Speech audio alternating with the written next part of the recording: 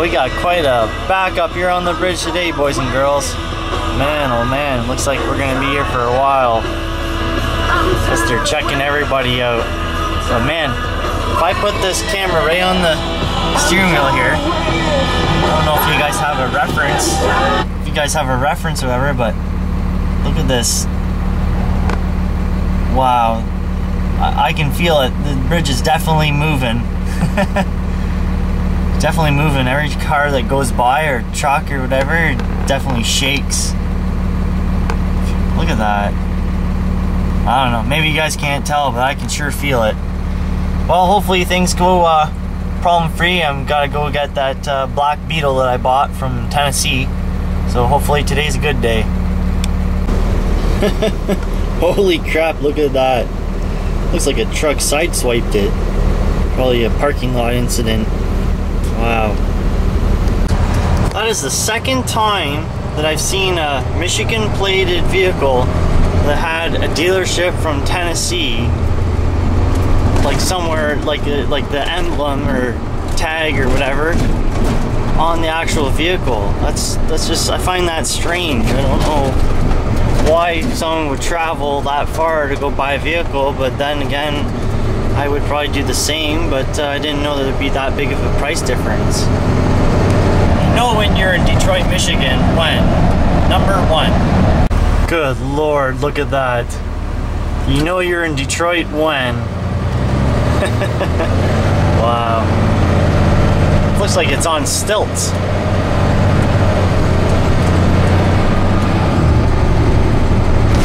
He pimped his ride all right. He pimped it good. Number two. Somebody stole the whole box off the back of the truck.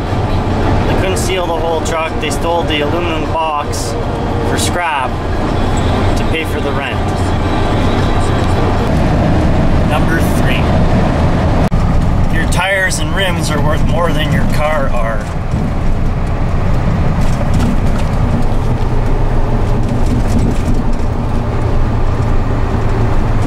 Roads are bumpier than a gravel road.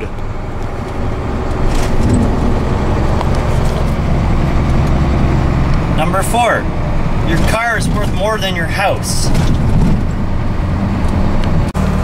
Look at all the pollen in the air. It's almost like it's snowing out. Almost like it's snowing out.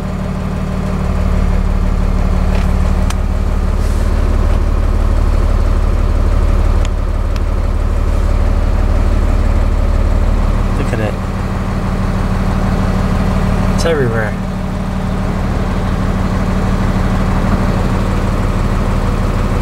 Look at it all. There we go, got the Volkswagen Beetle. Still right where I left it. The truck bounce.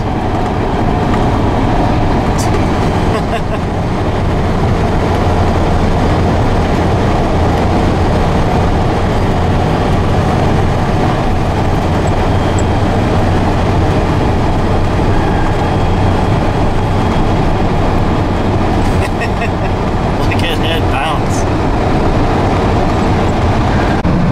Well, I crossed the border. I'm glad that uh, they finally let me across. Man, that was the worst experience ever trying to cross. They thought I was trying to pay pay too little tax or whatever, but I, what I don't understand is I get the tax back anyway. So why would I, you know, lie about that? But yeah, they didn't believe me that I paid that little for the car. So, anyways, they wanted to uh, drill me and see if I'd like crack under pressure or something like that. But anyways, I just told them to call the guy that I bought from. I had apparently a notarized bill of sale doesn't mean anything. Actually, I had two bills of sale. So anyways, it didn't mean anything. But uh, anyways, yeah. So they didn't believe me that I got the car and that good of a deal and why I like flew to go down to get it. But anyways, uh, now I gotta go pick up another car on my way home and. Uh, and I've seen two cars with lawnmowers in the back of it. I just saw a Subaru with the lawnmower in the back. It was a wagon and it was turned around the opposite way, the, the wagon, so or the, the lawnmower. So the handle was like right where the guy's head was. it was hilarious. But uh, everybody's in the lawn care business this time of year, right? So it's to be expected.